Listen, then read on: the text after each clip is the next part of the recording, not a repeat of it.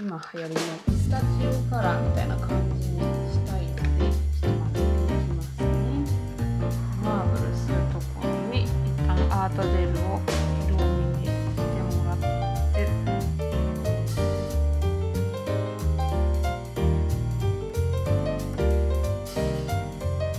皆さんこんにちはニュージェルマーケティング部開発チームのみなです今回はこちらですね。のデザインを色違いでこっちの手にやっていきたいと思います。一応下処理を済んでる感じになるのでベースから塗っていきますね。今日使うカラーですね。こちらになります。28番のホワイトベールと185のスモークオリーブと201番のイエローキャブ400番のシャンパンホワイトでベースはフィルインベースを使っていきますではベースをこちらのオーバルの4番ですねで塗っていきます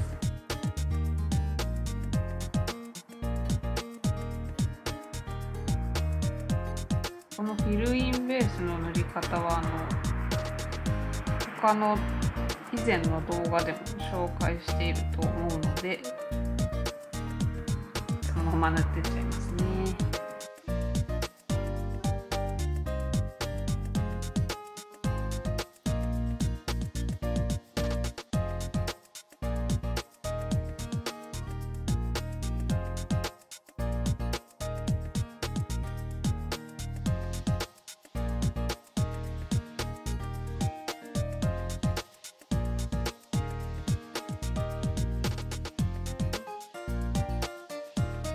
ベースが塗れたら一回溶かします。ではベースが塗れたのでカラーを塗りますね。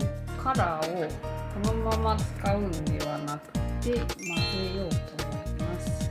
今流行りのピスタチオカラーみたいな感じにしたいのでちょっと混ぜていきますね。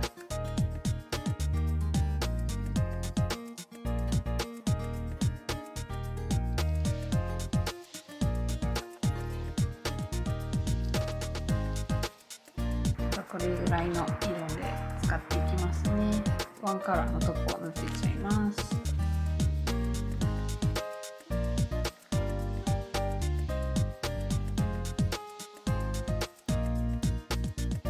ワンカラーが塗れました。じゃあ交換します。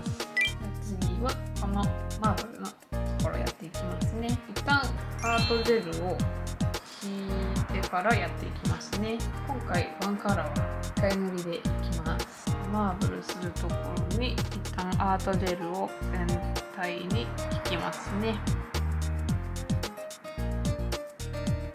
全部オーバルの4番でやってます。適当な量を取ってもらって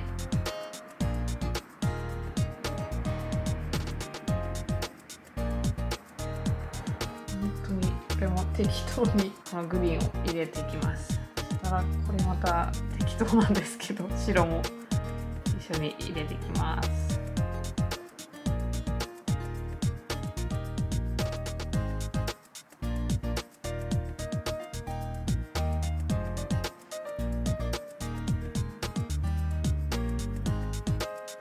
これは本当に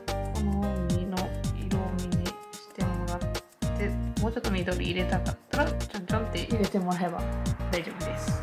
交換します。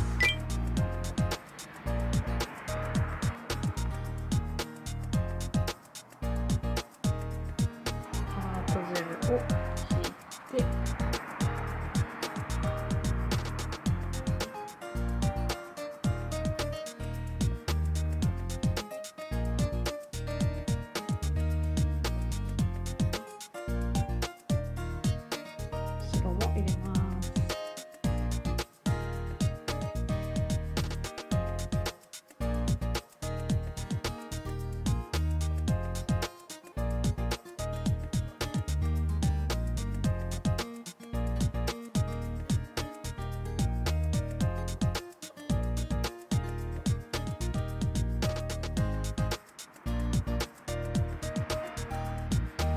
はい、これぐらいで収めます。こちらのロングライナーで400番で、ここの根元ですね、ラメラインを入れていきます。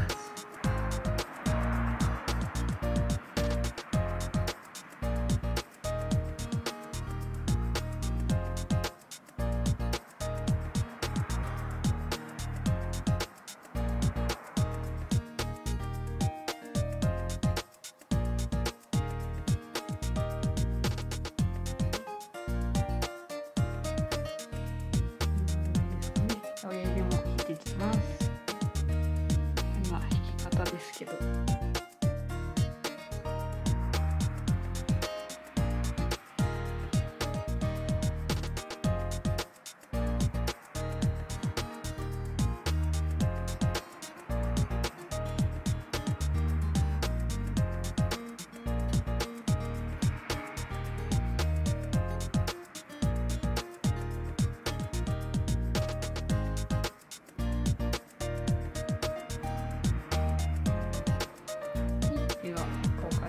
ます3 b この400番異色のりで塗ってっちゃいますね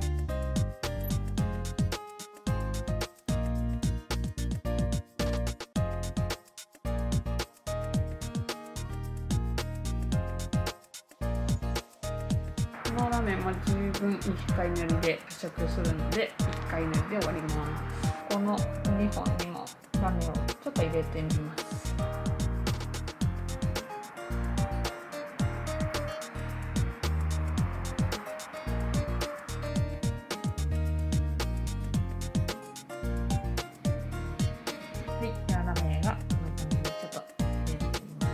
れで出来上がりになのでツルツヤのホワイトトップを塗って仕上げていきます。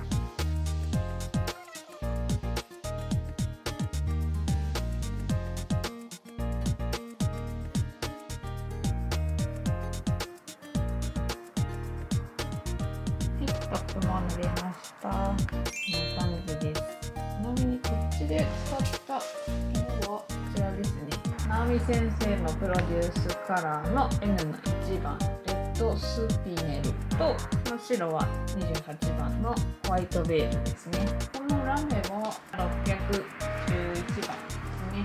シャインコッパーっていう色を使ってこっちはやってます。使ったカラーを溶かしておきます。こんな感じになりました。マーブルなのでいろんな色で楽しめると思うのでぜひ皆さんもってみてください。